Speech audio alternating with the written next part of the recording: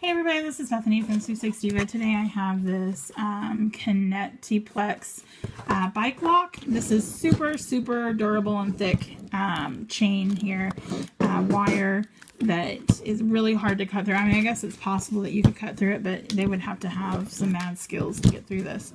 Um, a little mount so that you can mount it on your bike and you can uh, lock your bike. Uh, you'll just have to follow the instructions here to set this um, but once you have it and you mix them all up it locks and you can't get it open.